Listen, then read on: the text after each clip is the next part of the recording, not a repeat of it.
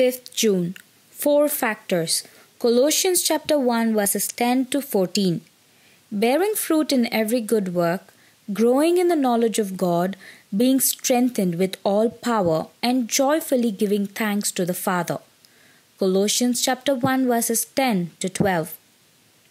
Wisdom and conduct should always be related to moral character.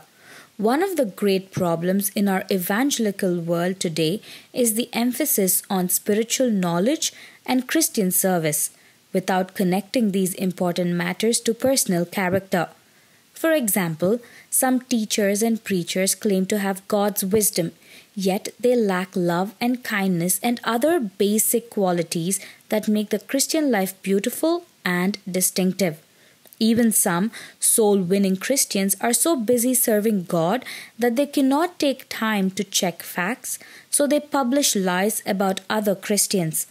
For some months, I read a certain religious publication, but when I discovered that it had no letters to the editor, column except for praise, and that it had never published a correction or apologized for an error, I stopped reading the magazine.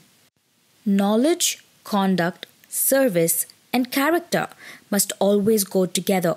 We know God's will so that we can obey it, and in obeying it, we serve Him and grow in Christian character. While none of us is perfectly balanced in these four factors, we ought to strive for that balance. Something to ponder. If you never told other people you were a Christian, how long do you think it would take them to notice? Why? Amen.